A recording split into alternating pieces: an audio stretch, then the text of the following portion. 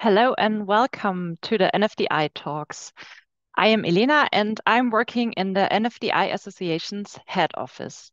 In our NFDI Talks, every two weeks, scientists from different disciplines present exciting topics around research data infrastructure and management. All talks are live streamed and saved on our YouTube channel. Exclusively in Zoom, we invite you to discuss the topics and ask your questions after the presentation. So in this episode, we will talk about a fundamental principle, not only for the national research data infrastructure, but the entire scientific community. We will approach towards the question, what is open science and what is it good for?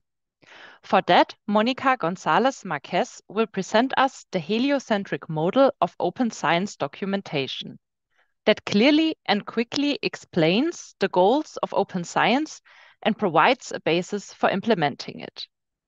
Monica is an open science manager at Forschungszentrum Jülich, where she teaches researchers open science practice using Helio as a basic premise. She uses her background in linguistics, philosophy of science, and experimental psychology to develop evidence-based methods to improve the quality of the scientific record. Welcome, Monica. Hello, thank you. Thank you so much for the nice introduction. Uh, and thank you all for being here. So um, is the YouTube thing going? Okay, fantastic. So then I will go on ahead and get started. I will share my screen. Okay, there we go. So yes, the title of my talk is What is Open Science For? And I will be introducing the heliocentric model of open science documentation. So let's begin where we are now. Um, there is a lot of talk of open science and its goals and what it's supposed to do or what we need to do with it. A lot of this is focused on various tools and infrastructures. Um, several important organizations, such as UNESCO and CoARA, have put out statements um, to indicate what they are trying to accomplish by their mere existence and how they're trying to influence the scientific community. So here are some excerpts. So UNESCO says that the goal is transparency, scrutiny, uh, critique, and reproducibility. Um, I'm not going to read all of it. It's you're not here to listen to me read. Um, but the key points are to increase openness, um, to increase transparency and trust in scientific information, and reinforce, oops, sorry, reinforce the fundamental features of science as a distinct form of knowledge. This is lovely. What does it mean? What exactly does it mean in the context of what we as scientists do in our day to day as we engage in in uh, in knowledge discovery and knowledge creation. CoARA does a little bit better, I think. Uh, they say that um, what this is about is uh, quality implies or creating an imp improvement in the scientific quality implies that research is carried out through transparent research processes and methodologies through research management, allowing systematic use of previous results. Once again, this is fantastic. It's a fantastic statement. What does it mean? That said, they go further to talk about how this must involve um, research outputs such as scientific publications, data, software, models, methods, theories, etc. All of the different kinds of outputs. Um, and then of course, when we when we hear talks about open science and the many things that these organizations are, are building and creating, we usually get an image that looks like this, that positions open science at the center.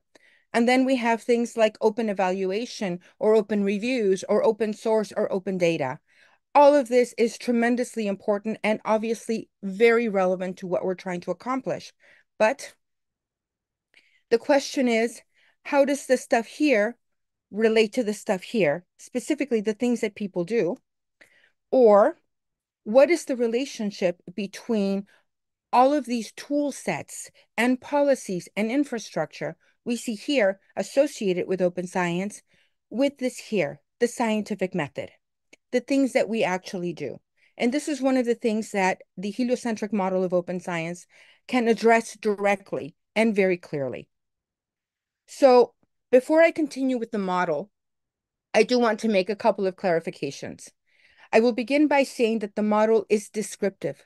It describes the transformation that we are experiencing right now from a bird's eye perspective, the transformation from a model of scientific information documentation and dissemination that doesn't work very well towards one that is slowly starting to work better. The model is also predictive. It gives us a clear image of where we're going. What exactly does the future look like? Because this is something that is still quite hazy for a lot of people. What are the goals of open science? And a lot of the time, as with the statements that I showed um, right at the beginning, we're left with phrases like that. But what does this actually mean? And this model provides us a picture of what this can look like, of what this will likely look like. Um, I will also say that the model is not prescriptive. It doesn't tell anyone what to do, and it's not proscriptive. It doesn't forbid any practices. Once again, what it does is describe the transformation that we are living through in science as we attempt to improve the quality of the record. So this is Helio, the heliocentric model of um, scientific documentation. So um, it's called Helio because, yes, there is a direct conceptual, metaphorical relationship to the uh, transition from a geocentric model to a heliocentric model of planetary motion. I won't go into that. There is a preprint that is forthcoming, and we do talk about how that happened and what, what the analogy is. Um, but what matters here is that if we imagine that the scientific article is at the center of this planetary system, as the center, it dictates the motion of its satellites. Here, the satellites are the parts of the scientific article, but it's not really about the parts of the scientific article. It's about the information that we need to understand a scientific process. And in this model, the model that we have now, where the scientific article occurs as the currency of science, those things, these, these aspects of the scientific process, their documentation occurs at the mercy and the, within the constraints of the scientific article and the publishing industry. Um, then we have this asteroid belt here. And we like to say that beyond here, there be dragons. And what are the dragons? The things that people don't talk about, the things that the scientific article can't really accommodate. Those are things like code and data. Now, I know that there are some changes in how papers are being published such that they contain links. But what I will emphasize here is that the paper in as it was conceived does not have room to accommodate the minutiae, the details that are involved in a complete scientific process. So what is this model that we're moving towards? That's this model that we see here. And actually, let me advance here. I should have done that. So this is the geocentric model of scientific documentation where the scientific article is at the center. So what happens if we allow research questions, the questions that we ask as scientists to guide what scientific information should be documented and how that information should be structured. So what does that mean precisely? It means understanding what the nature is and what the constraints are of research questions. So here we have this model, which is of a, of, of a sun of sorts. And at the center of that, the, the hottest part, the red part, actually that's wrong. Anyway, never mind. Um, we have the research question, the research question guiding everything because everything returns to what we are trying to address with our research question. But the research question doesn't occur in all freedom. It doesn't exist in full freedom. It, it has constraints. And its first constraint is resources. What resources do we have to actually address any given question? And this is the reason why we write grants, because we need resources of various kinds to be able to conduct any scientific process to address any any particular question. If we don't have resources, be they time, be they participants, be they equipment, if you're an astronomer, if you can't get telescope time, you can't answer your question. So this is a very clear um, and delimiting constraint. Immediately following that, we have the communicative drive. Science that is not communicated does not exist. Hence, when we conduct a scientific process, we must document it so that others can understand what we did and so that what we did can be connected to other scientific processes. This is communication. Hence, imagine a scientific documentation system where these constraints govern the entire scientific record. This is what we're proposing with the heliocentric model of open science documentation, where we have the scientific process here, the research question, uh, resources, and the communicative uh, drive, constraining how we document the various aspects of the scientific process, including analysis, discussion, question background, results. In essence, each of these aspects of the scientific process become their own documentation node because they involve processes that are about themselves, that connect to other processes, but they're very much about themselves. Um, you'll notice that there's a narrative here. This is the paper, and I'll talk about it a little bit more in a second. So what this means, of course, is that when we conduct methods, we don't do methods. There are various aspects to the labor of doing methods we have to do a sampling design. We have to do, decide on participant characteristics. This is a model of a human subjects um, study.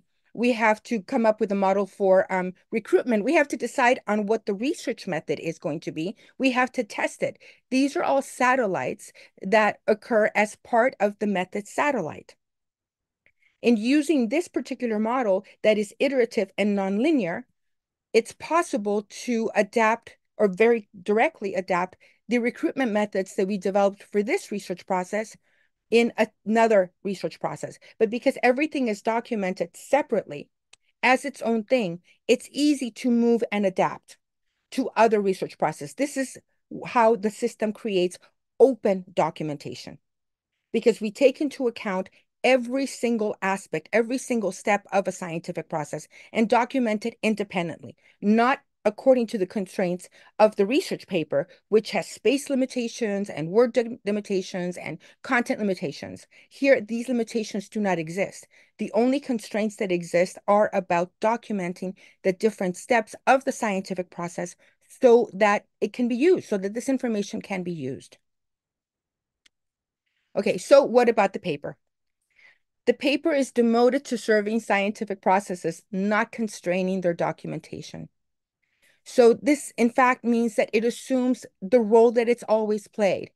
If you have ever attempted a reproduction of a study or attempted a meta-analysis, the first thing you do is come to understand how grossly underdocumented any process is within the constraints of the scientific paper. What a paper is, de facto, is a summary of the things that people did to address a research question. It does not contain enough information for true transparency or for real reproducibility. If you read these papers, and I've read them, and I know many of you have, there is one line that keeps coming up again and again and again. We had to consult the original authors to obtain the details needed to be able to conduct this um, this reproduction or with meta-analyses many much of the time you can't even contact the authors. They've left the field they've died all sorts of things can happen. So that means that that information is missing. That's preventing the um, effective comparison of studies. So let's treat the paper as, as, what it is. It's a summary. It's a summary that must that, that that should contain links to all of the real information the deep information about what researchers did and so we go back to what is open science for? It's to improve the quality of the scientific record. That is what we are trying to do. And when we're talking about the scientific record, it means that we need to talk about the two major groups that are involved in interacting with the scientific record. It means we need to talk about the users and we need to talk about the producers. So at this point in my talk, I'm moving beyond the theory that we see here. So this is a really nice theoretical model. It's a pretty picture. It looks great. But what does the nitty gritty look like? What does that actually mean? When we reduce things to what the scientific record is actually about, users, we need to be able to read and understand what other people did. That means that producers should be able to document what they did in such a way that we as human beings can understand it. And here I will understand, I will underline that though machine readability is important given the computational age that we're living in, at the end of the day, computational readability, machine readability is not the ultimate goal because who will access that information after it's been machine read is human beings. I, think some of us are old enough here to remember the old garbage in, garbage out. If we want good usability of scientific information, we must make sure that it is documented in enough detail for humans to be able to understand and use. Hence, this is what we mean when we say that open science is about improving the quality of the scientific record. It means that we are adequately addressing the needs of information users, scientific information users, and that we are accurately addressing the needs of scientific information producers to be able to document usefully, adequately, productively. And um, what about open software, open data, open hardware, etc.? We will be talking about that shortly. Okay, but first, here, I mentioned this term called science reading. Now, it's likely that you've never heard of it. That's okay. Um, this is research that we have done for the past seven, eight years. And this is research on how to teach people to understand basic scientific literature. Um, if you are like most people, and I've talked to literally hundreds of people at this point, if not more, most of us were never taught how to read a scientific paper. Some of us, a few lucky ones, were given a 15 minute lecture on this is the structure of a scientific paper. You have your introduction, your methods, blah, blah, blah, blah, blah. And that was it. Otherwise, we were assigned papers and we were told, go read this paper. We're going to discuss it in seminar next week. So um, what we have done is actually look at the literature on human cognition. How do we understand information? And use our knowledge there to develop methods, empirically based methods, evidence based methods, sorry, to teach to understand scientific literature. Which brings us to this. What is the purpose of scientific documentation? What is the purpose of the scientific record? The purpose of the scientific record is to make science reading possible. And what is science reading? Science reading is the act of conceptually reconstructing a scientific process from available documentation such that its reliability can be assessed and all of its products used. This is what we should be able to do when we access scientific information, scientific documentation about any given scientific process. What does it mean exactly?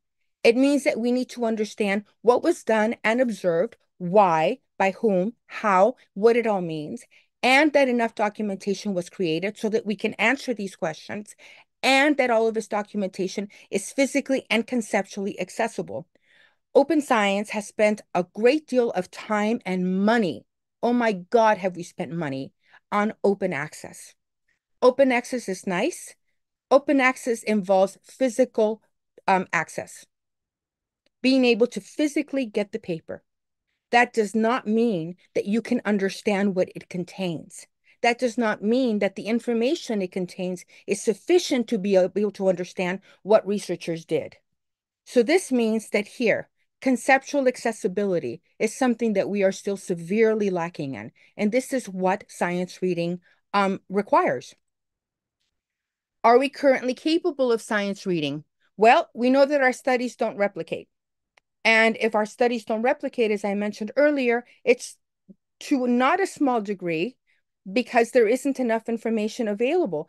We're not trying to argue here that the bulk of the science that's out there is bad science. The fact of the matter is that we don't have enough information about how the science was done to be able to judge whether it's good science or bad science. Um, I mean, we can go even further. Some researchers, and Scheele, for example, have argued that we don't even know whether the science that was done addresses the question that people say they were asking because there is insufficient information about how that question was actually addressed. In other words, we have a severe under documentation crisis in science that we're not talking about enough. the other part, of course, is that anyone who's ever read a paper and tried to understand what people did, because you need to understand it to use in your own science, you end up pounding your head against the wall because there isn't enough information there. And then there's peer review.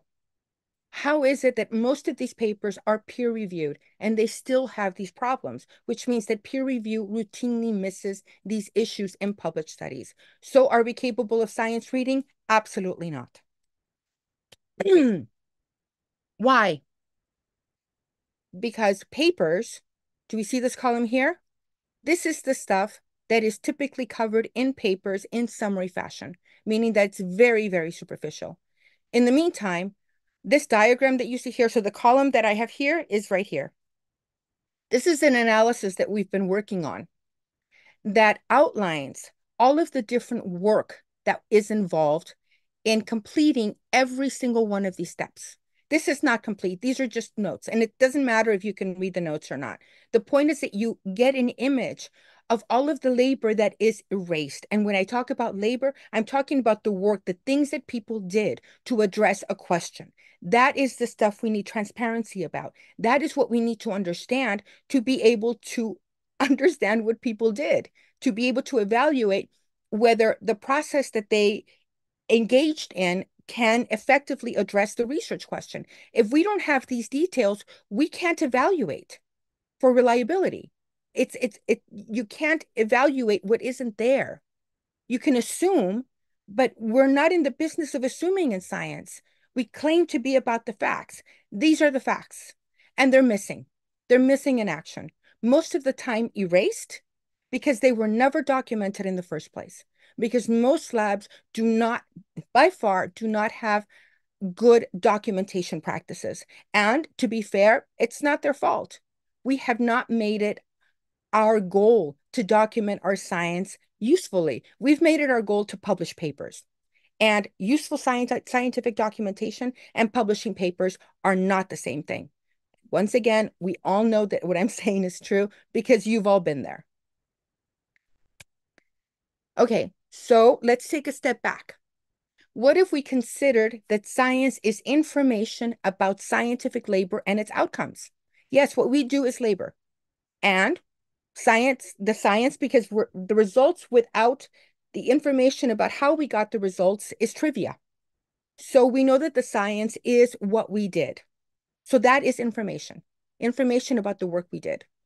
And importantly, that this is information produced by humans for humans with all of their biases and inconsistencies. That means that human beings, not perfect automatons, drones did the science. That means that there are errors, there are biases, there are all of the things that mark the human condition are an inherent part of scientific processes because human beings are engaging in scientific processes. And what if we designed and practiced documentation of our labor, thinking about our peers and future generations? because this is one other thing that we keep forgetting when it comes to the scientific record and open science and the need to improve it. We need to improve it because we need to make this information usable by future generations. That's why we spend billions every single year building the scientific record so that it's a usable tool for now and for future generations. And right now, it's not. So if we had these kept these ideas in mind, what would it mean for scientific documentation? What would it look like? And here we go to um, one of the most personally frustrating parts of the work that we've done here. And um, it's goal-directed problem solving. And we introduced this thing called uh, problem arcs. Why is it frustrating? Let's um, begin with this, okay? Um, so you're all familiar with this. It's the scientific method, and I showed you the same diagram uh, a few slides back. We're familiar with it. We know this is what we do, presumably, when we're conducting a scientific study, okay? It so happens that even though we've been told again and again that there's something very, very special about this, about the scientific method, it's actually not that special. It's simply an instantiation of what in cognitive science we call Goal-directed problem solving. We do this all of the time in every single aspect of our lives since we were babies. We are constantly problem solving. That is what we do. Conducting a research study, a scientific process involves first we have to do this so that we can do that. And once we do that, then we can do that. Every single step, we have to figure out what it is we need to do. What we need to do is a problem to solve. Here, um, I'm assuming that there are some non-native English speakers, so I will clarify that in English, problem doesn't mean something bad, like I have a headache and that's my problem. A problem is simply something that requires a resolution, uh, something that we need to take care of. Um, I need to build a chair for my kitchen. That is a problem to be solved. It's not necessarily a bad thing. Um, and as I mentioned a moment ago, when we conduct a scientific process, we problem solve repeatedly. This is why this little uh, diagram gets repeated again and again and again and again. Because when we make an observation, there are problems that we need to solve to decide whether this is a worthwhile observation to pursue. Then we identify the problem. There are several things that we need to do before we agree that this is a problem, the correct problem to identify. Uh, we research the problem again and again and again. At every step, we engage in problem solving so that we can advance to the next step or steps because science is not necessarily linear. And this is the source of my frustration. We have, so this is just a quick search on Google Scholar. This is over 5 million hits. 5 million. These are hits on what we know of scientists as problem solvers we have the literature, we have the knowledge to understand how scientists solve problems, how we conduct science. The problem is that we have neglected to take this literature and adapt it to teach us how to document how we solve those problems. This is imperative because that is, in essence, what the scientific record should be.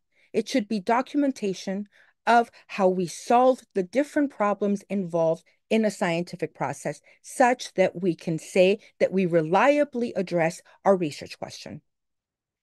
It's unbelievable. When we came across this, we, we were dumbfounded. We did not know that there was such a large literature investigating how scientists solve problems, how scientists do science. Why haven't we adapted these methods to teach us how to document the science that we did so that others can use it. Okay, so what exactly does the scientific problem solving literature imply? It implies these things that we need to conceptualize science for documentation as a series of problems, tasks that need to be solved. And this is how we address our research questions. And that we should do this as one problem at a time. We shouldn't do this as methods or analysis as results because these categories are too big. And the fact is that when we're doing an analysis, we don't do an analysis. There's a whole bunch of smaller tasks we need to do as part of completing an analysis. Those little tasks are the things that we need to document. And it also says that we need to describe what is done um, as the work is done, every step of the way. We don't do it after the fact. That whole thing about how humans, how scientists are human and they have all of the frailties of the human condition very much applies here. Our memories fail. We do not remember things correctly. We misinterpret our own memories. Therefore, it's best to document as you go. The key thing, of course, is how, which is forthcoming. Okay. Um, so this means that we actually have a pretty good understanding of what the problem solving sequence looks like. And if we interpret it not as not in terms of describing how people are solving problems, how scientists are solving problems, but to teaching them how to document how they are solving problems, we get a list that looks something like this. We describe the problem, we determine what information we have, information we need. We describe the results we want. What is our goal? Okay. We gather information. What papers, what instructional materials? We think of solutions based on gathered information and prior knowledge. Only we're documenting all of this. Okay. We choose the best solution and create a plan to use it, and we justify it. Uh, we implement solutions and document variations on the original plan. We evaluate results and maybe go back to the to the drawing board. And the important thing here is that we justify every step of the way. Every decision we make, we have to justify. We justify our choices every step of the way. Um, importantly, as I mentioned early on, um, I use my training as a cognitive scientist to improve the quality of the scientific record. So that means that the tools and the methodology that we've been developing uses the human mind and accept it, accepts it as it is, not as a bug in the scientific system, in the purely objective scientific system, which is a myth, but instead accepts the human condition with its constraints as a given, as this is the way it is. So that means that we have a tool set, actually not one, we have several tool sets that allow us to understand and what information we understand and what information we still need. The number one of these is actually something called the universal interrogatives. You may not have heard that term before, that's okay, but you definitely know what they are. They occur in every single human language. And the reason they do that is because they are about finding out what the story is, what the narrative is. So we have two tools here.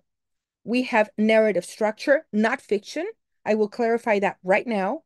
When we're talking about narrative structure, we're talking about event structure, the understanding that first this happens, then this happens, and then that and that happens, and then that, that, that, and that can happen.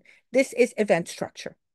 And to understand what happens in the context of event structure, we have the universal interrogatives. We need to know who did what, when, where, why, and how every step of the way. If we can answer those questions, we are documenting appropriately.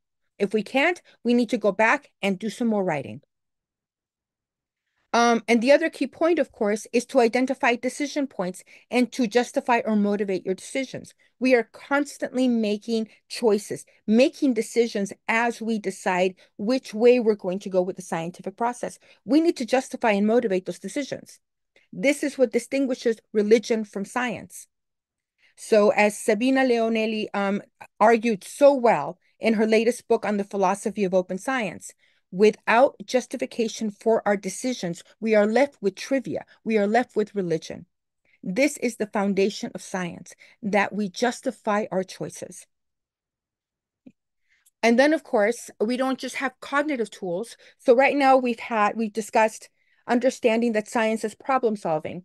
We've discussed understanding um, that uh, science is comprised of events, of a narrative.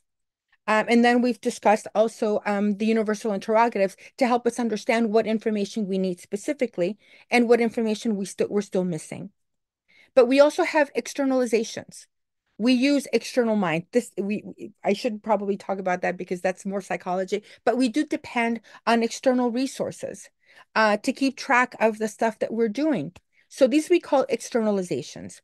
So this means doing things like creating spreadsheets to keep track of knowledge sources. The PRISMA guidelines, in case you're not familiar with them, are excellent. They were developed for systematic reviews, but they're excellent to adapt to keep track of the literature you read, where you found it, and to decide whether you're going to use it or not and justify why.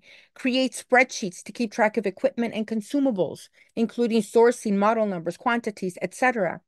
And of course, as you write your narratives, your descriptions of what you did, include links to all of this information so that people can uh, go to that information as they try to understand what you did. So here's an example of Prisma. I love Prisma.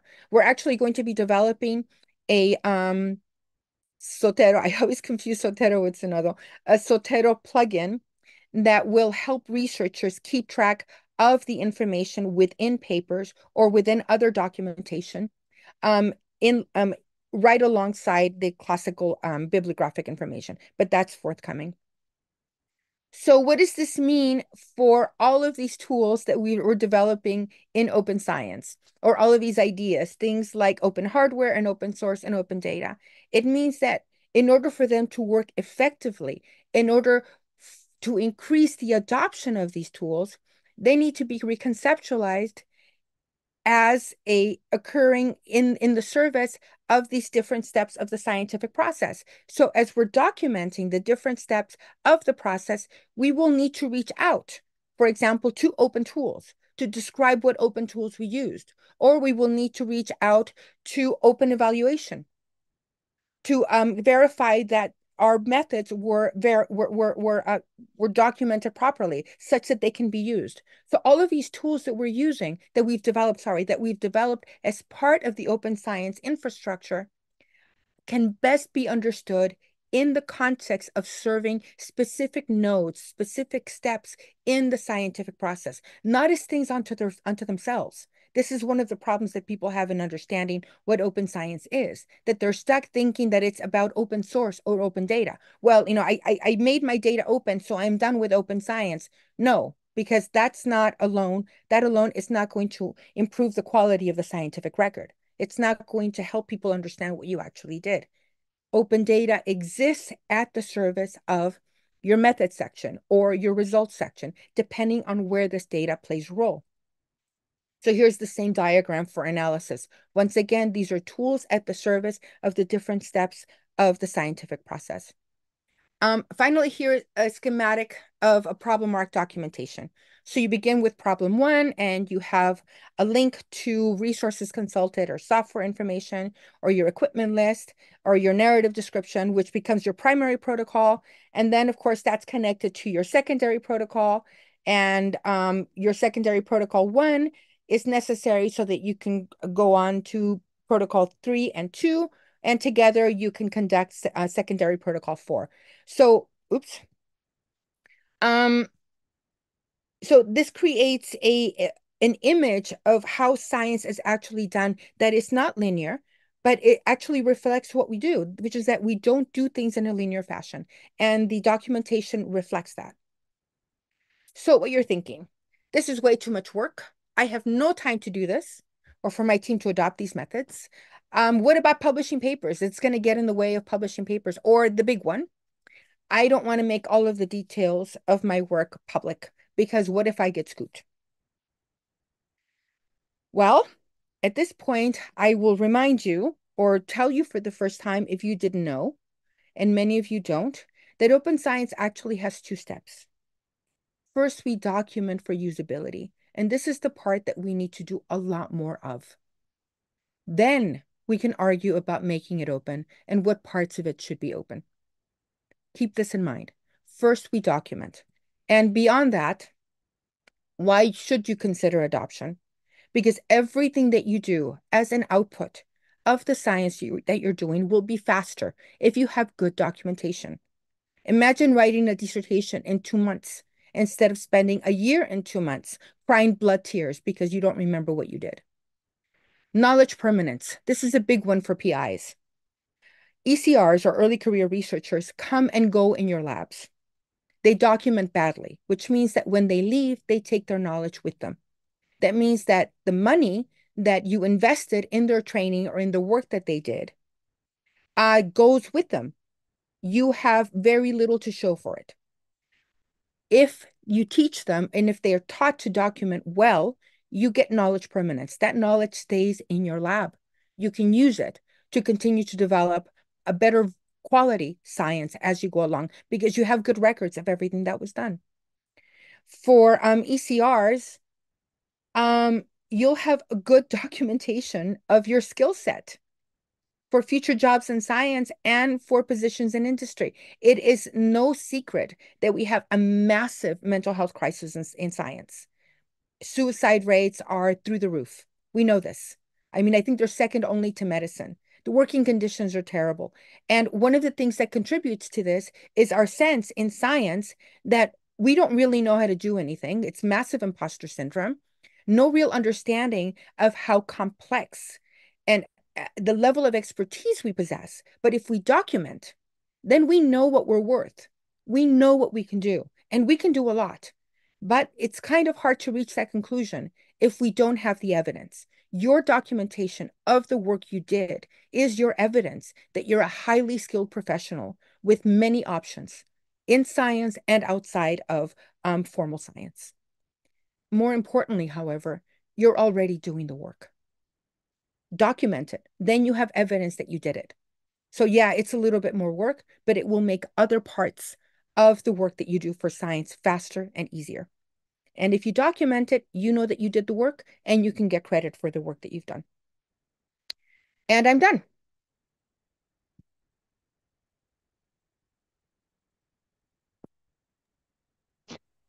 Thank you very much, uh, Monica, for your presentation. And with that, uh, we say goodbye on YouTube at this point. In our next episode in two weeks, we will get to know the basic service PID for NFDI presented by Stephanie Hagemann Wilholt and Philipp Wieder. So I hope to see you there.